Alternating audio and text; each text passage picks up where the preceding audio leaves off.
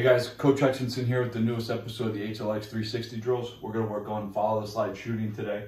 Uh, it's a great drill, incorporates you know four guys uh, offensively. All right, coaching points for this, we're going to lengthen the slide and take him away from the ball carrier to make that uh, time for our guy to make a decision a little bit longer. Uh, off ball, we want to create some space for him, all right, which is going to come with lengthening the slide. All right, and then offensively with the ball, we want to take that space that was just created for us all right, and then once our guy does go, we want to take that space back as an offensive player. All right, and then lastly, we want to be creative. So we want to create some situations that can happen in games uh, to put our guys in those situations. So how the drill will work is we'll start with uh, offensive player back here with the ball, second guy back here with them. We'll have our third guy that's going to kind of be here inside on the crease. All right, we're also going to have a sliding defender um, and you guys can have your defender work on your posture, uh, your stance, and how you guys slide inside. And we can move this guy around. Uh, we can put him as the mirror man. We can put him as the high C guy. We can put him as an adjacent guy if we think that teams are going to be helping down the hash. All right. We'll let these guys be creative back here. All right. And this guy can throw, make his first pass, come, set a front pick. He can come, set what a lot of people call an S pick or a swivel pick or he could just come and then clear through and replace behind as number two attacks this way.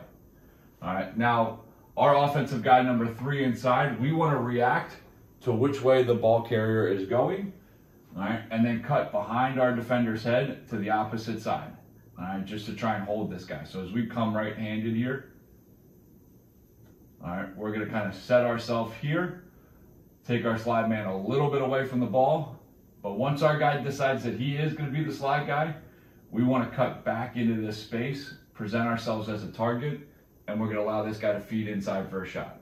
Now, what you're going to see in the drill, all right, is we'll do one or a couple of them where we'll slide to the first dodge, all right, and then we'll also do some where this guy doesn't slide to the third or the fifth dodge, all right. In that situation, you know, this guy gets up to the island, rolls away, listens for maybe a, a, a rollback call, all right, or one more, and then we share the ball back here to number one, then he's reacting to dodging. All right, that is follow the slide shooting.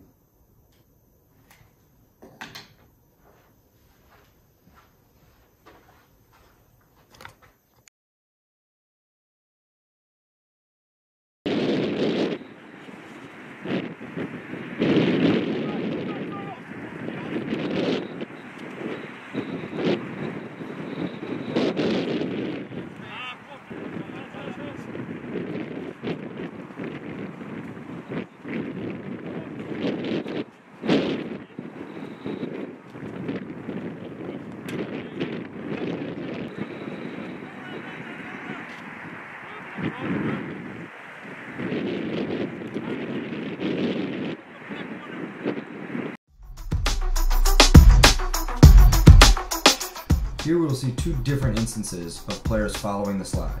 The first is from a crease slide where the hardwood player fills the space created by the slide.